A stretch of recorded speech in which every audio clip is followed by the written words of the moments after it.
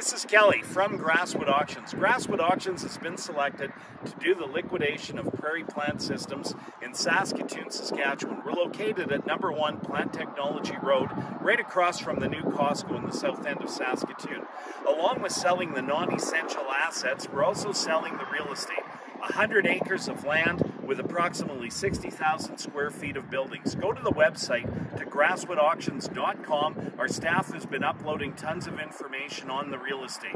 Our first non-essential asset auction will take place on June 22nd. It'll be closing on June 22nd, starting at 9 a.m.